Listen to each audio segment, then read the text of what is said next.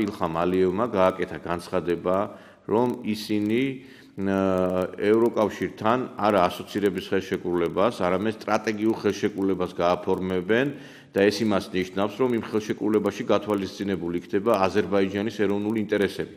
ასევე აპირებს სომხეთის ხელისუფლებაც და ეს ნიშნავს იმას, რომ სომხეთსაც და აზერბაიჯანსაც ვერ გადაუწყვიტავს ევროპელები მაგალითად როგორ მოიმოქმედებენ ისინი გარკვეულ ვითარებაში. მაგალითად იგივე ტოლულების მიღების მაგალითად სტრატეგიული რაღაც საკითხებთან მიმართებაში.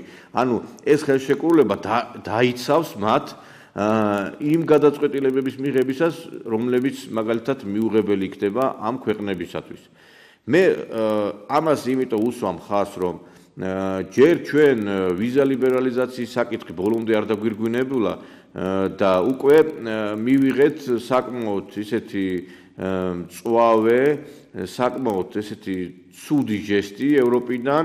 რა თქმა უნდა, ჩვენ ევროსაბჭოს წევრი უკვე დიდი ხანია ვართ და სტრასბურგის სასამართლოსთან დიდი ხანია ურთიერთობა გვაქვს, მაგრამ ჩემთვის არის ცოტა გაუგებარი, როდესაც მავანი უზენაესი სასამართლოს თავმჯდომარეებს და ქვეყნის სასამართლოს პრეზიდენტთან დაწყებული პარლამენტის წევრები დამთავრებული და ოპოზიციური სპექტრი დამთავრებული ლანძღავს, თათხავს ჩვენს სასამართლოს და იმავე სტრასბურგის სასამართლოსთან დაკავშირებით კითხვის ნიშნები არ უჩნდება, როდესაც რაღაც ახალი ფურცლები იქნება სტრასბურგის სასამართლოს ისტორიაში და ისეთი გადაწყვეტილებები გამოდის, რომელიც ლახავს ქვეყნის სუვერენიტეტს. საუბარი მაქვს რუსთავი ორთან დაკავშირებით.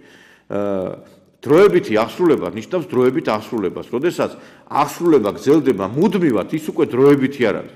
თან როდესაც სტრასბურგის სასამართლო ვერ ცვლის უზენაეს სასამართლოს გადაწყვეტილებას და ეს ბოლო სტადია და მიუხედავად ამისა აჩერებს გადაწყვეტილებას. სწორედაც რომ საკუთრების უფლების ხელყოფა არის ეს და ამიტომაც იყო განცხადება გაკეთებული საქართველოს ხელისუფლების ზოგიერთი წარმომადგენლის მხრიდან იმიტომ რომ შეიძლება სტრასბურგის სასამართლოს გადაწყვეტილება წლები გაგრძელდეს და რეალობა არ შეიცვალოს და თან ერთის გასათვალისწინებელია. თითეული ჩვენი მოქალაქე უკვე დაცული აღარ არის იმიტომ რომ მან როდესაც მოიგ ის როდესაც მოიგებს მაგალითად საკუთრებასთან დაკავშირებით პროცესს სტრასბურგ უზენაეს სასამართლოში შეიძლება სტრასბურგის სასამართლოს გადაწყვეტილებით აწლეულები ვეღარ მიიღოს ის კონკრეტული უძრავი ქონება, იმიტომ რომ ვიცით რომ 7-8 წელი გრძელდება სტრასბურგის გადაწყვეტილებები. მე ეს ერთ-ერთი რაღაცა ხაზი გავატარე იმასთან დაკავშირებით, თუ ჩვენ რა შეიძლება რას ვიღებთ ევროპისგან კარგს, რას ვიღებთ ცუც და იგივე რუსეთის ხელისუფლება მაგალითად,